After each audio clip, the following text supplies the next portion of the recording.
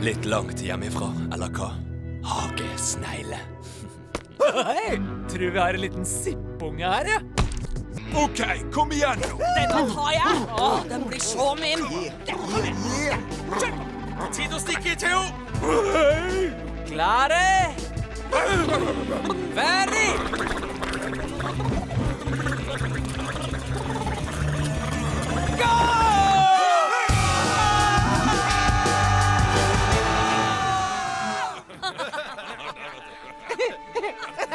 yeah.